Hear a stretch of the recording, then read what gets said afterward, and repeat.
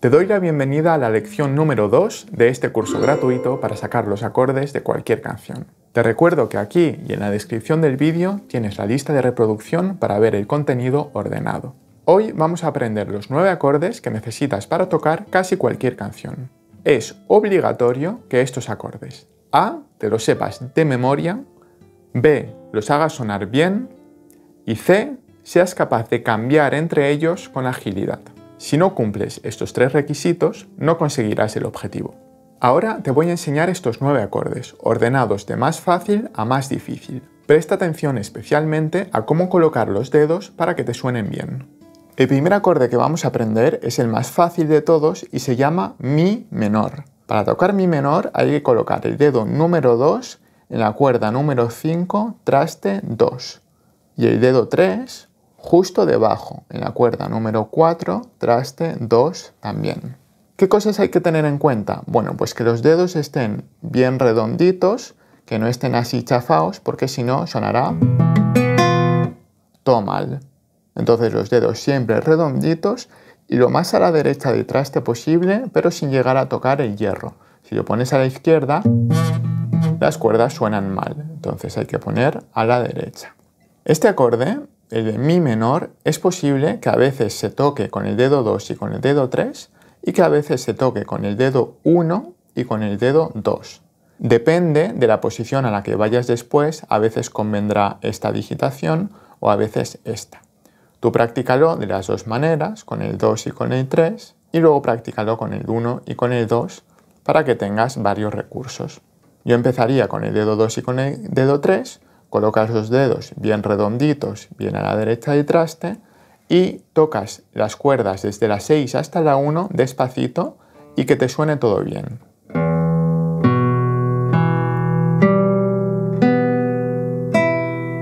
A muchos alumnos les pasa esto. ¿Vale? Y esto es por los dedos redonditos. Algunas personas no pueden poner los dedos redondos porque tienen las uñas de la mano izquierda demasiado largas, así que hay que tenerlas bien cortitas para que no tengas ningún impedimento en usar la yema del dedo para accionar las cuerdas. Bueno, pues este es el acorde de Mi menor y justo después vamos a tocar el acorde de Mi mayor, que es muy parecido, pero simplemente colocamos el dedo 1 en la cuerda 3, traste 1. ¿Vale? Este es mi menor y si ponemos el 1 aquí es mi mayor. Y los mismos principios se aplican los dedos redonditos a la derecha del traste, ¿vale? Y tocamos de cuerda en cuerda.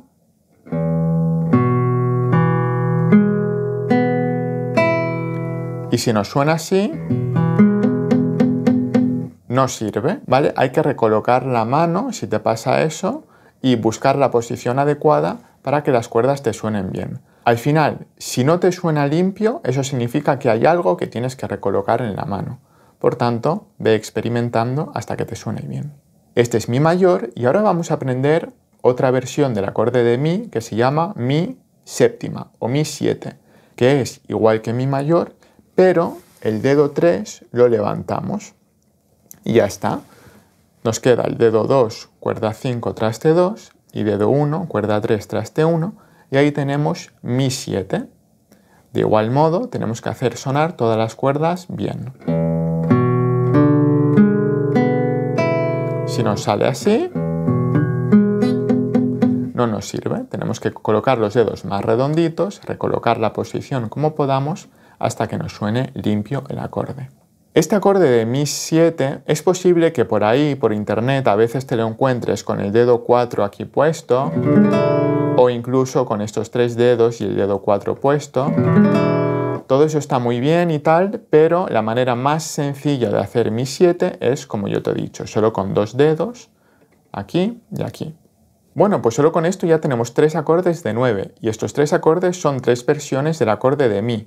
Acuérdate, Mi menor, mi mayor y mi 7. Perfecto, pues el siguiente acorde que vamos a aprender es el acorde de La menor.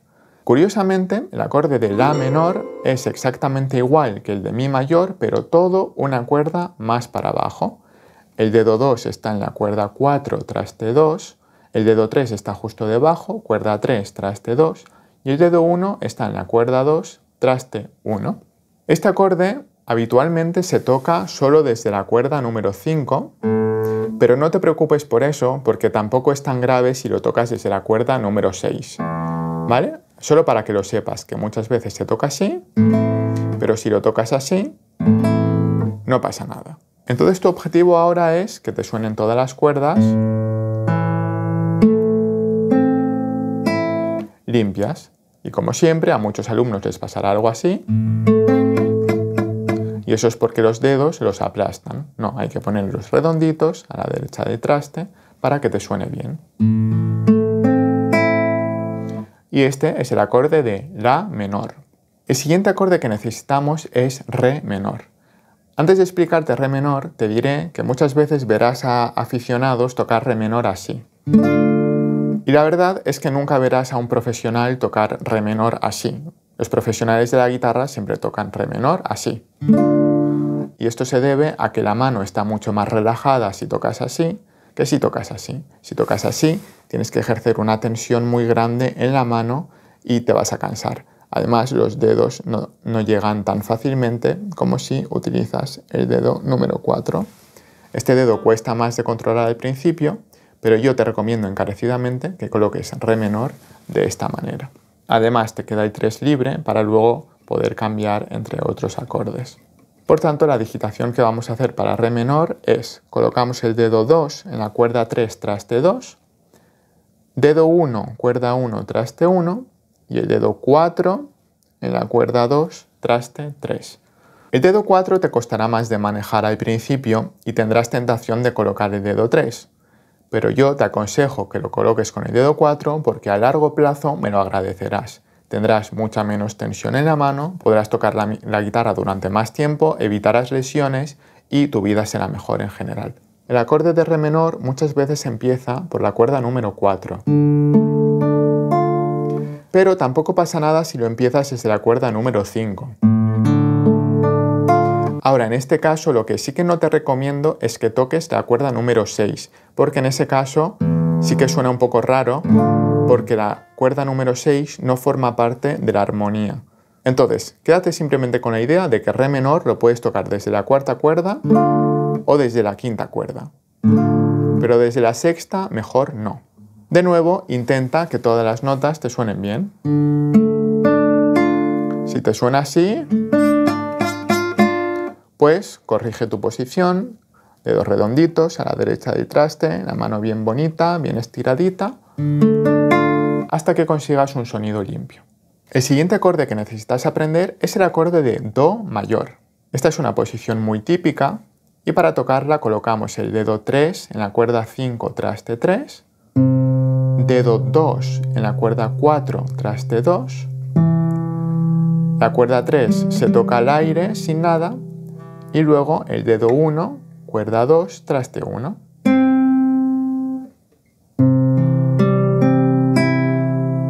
Este acorde es un poquito más difícil de colocar al principio y de hacer que te suene bien, pero con la práctica se puede. Es difícil porque muchas veces cuesta colocar el dedo 2 correctamente y que no tape justo la cuerda de debajo. Por eso hay que poner los dedos redonditos, la mano bien estiradita a la derecha del traste y este dedo, no te preocupes si se te dobla un poco hacia la izquierda, es normal en esta posición. Tienes que intentar que el dedo 2 no te tape la cuerda 3 y que el dedo 1 no te tape la cuerda número 1, ¿vale? El acorde de Do mayor normalmente se toca desde la cuerda número 5, pero no pasa nada si tocas la cuerda número 6 en este caso. Entonces, si haces así, también está bien, así que no te preocupes. De nuevo, intenta tocar todas las notas y que te suenen limpias. Si no te suenan limpias, trabaja tu posición y con la práctica, poquito a poquito, lo irás consiguiendo. El siguiente acorde que vamos a aprender es el acorde de Sol 7 o Sol séptima. He elegido este orden específicamente porque Sol 7 está muy relacionado con Do mayor, ya que es casi la misma posición, pero el dedo 3 sube una cuerda, el dedo 2 sube una cuerda y el dedo 1 baja una cuerda. ¿Ves cómo la posición es muy parecida? Esto es Do mayor y esto es Sol 7. Para hacer Sol 7 necesitamos colocar el dedo 3 en la cuerda 6 traste 3, dedo 2 cuerda 5 traste 2 y dedo 1 cuerda 1 traste 1. Esta posición es un poquito más difícil que la de Do mayor porque hay que estirar un poco más la mano. Sobre todo este dedo tiene que ir aquí bien abajo. Pero bueno, ya lo sabes, y si no lo sabes te lo digo yo, que la guitarra no es un instrumento fácil de tocar, incluso aunque estemos viendo elementos muy básicos. Entonces, este es el acorde de Sol 7, y hay que intentar hacerlo sonar bien.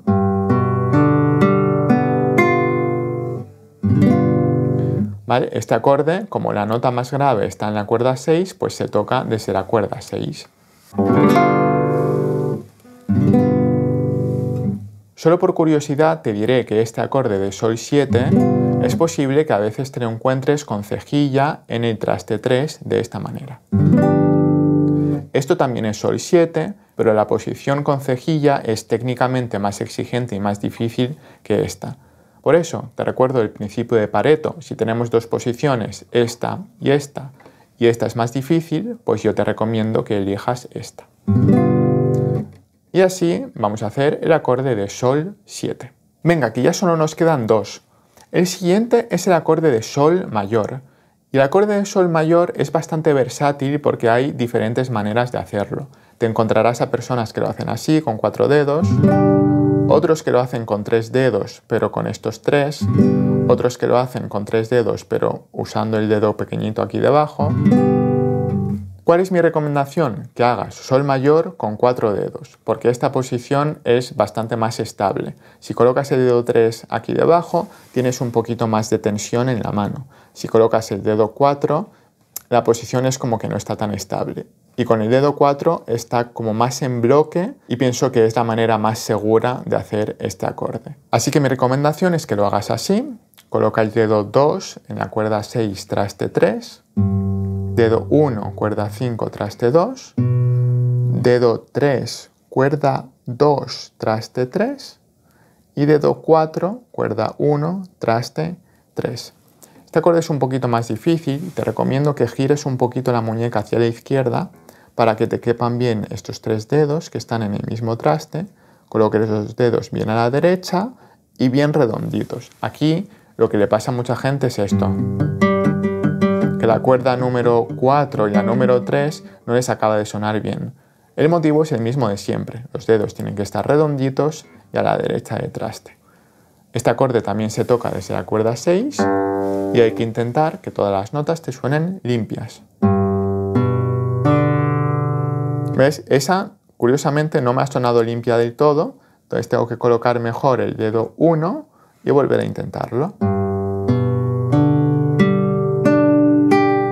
Ahí mejor. También como curiosidad te diré que el acorde de Sol mayor a veces te lo encontrarás con la cejilla 3 en esta posición. Este sería Sol 7 y este es Sol mayor. Pero de nuevo, si puedes hacer un acorde sin cejilla, mejor que lo hagas sin cejilla porque la cejilla es más difícil. Otra cosa diferente si tú tienes un nivel más avanzado y quieres hacer cejillas, perfecto. Pero si no, si las puedes evitar, pues mejor para ti. Entonces, para este curso vamos a priorizar Sol mayor desde esta posición. Y el último es el acorde de Fa mayor. Está el último porque es el más difícil y es que aquí sí que es verdad que no nos podemos librar de la cejilla.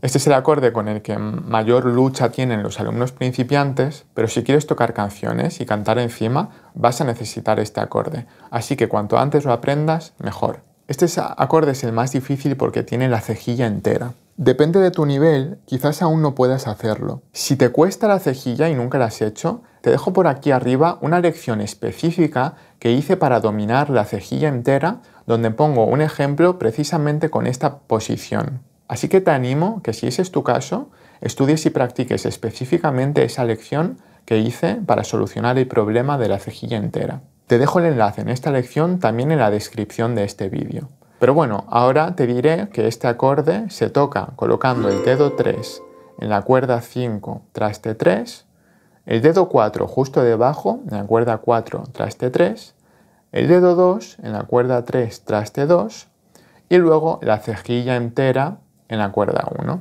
Hay que hacer fuerza y colocar bien la mano y a casi nadie le sale este acorde a la primera. Normalmente hace falta bastante tiempo de práctica, por eso te recomiendo que mires esta lección específica que hice al respecto.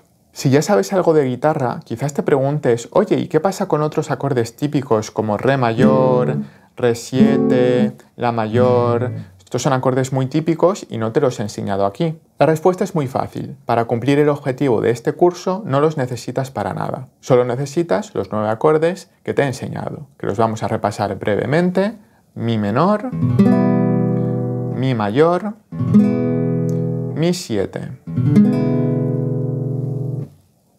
La menor, re menor, do mayor, sol 7. Y por último el difícil, fa mayor.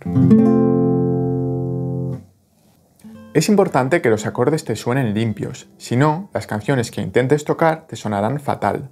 Recuerda poner los dedos redonditos a la derecha del traste. Córtate bien las uñas de la mano izquierda y practica mucho hasta que lo consigas. Repasa esta lección las veces que necesites y recuerda memorizar muy bien los acordes. Debes recordar su nombre y su posición en el mástil perfectamente. En las próximas lecciones voy a asumir que esto ya está superado. Cuando te lo sepas, lo siguiente que necesitas es aprender a ordenarlos de la manera correcta. Y eso es lo que te voy a enseñar en la próxima lección.